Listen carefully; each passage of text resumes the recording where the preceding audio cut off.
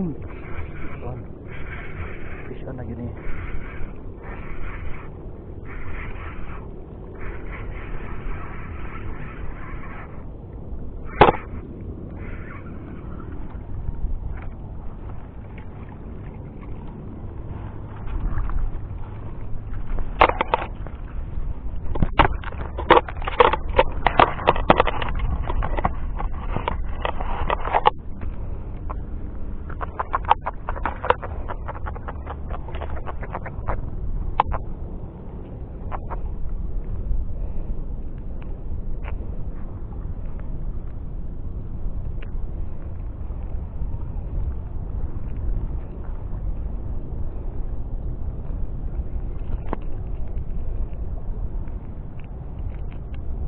Fish on guys.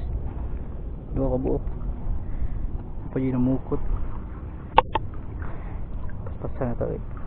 Unang tasan namukot.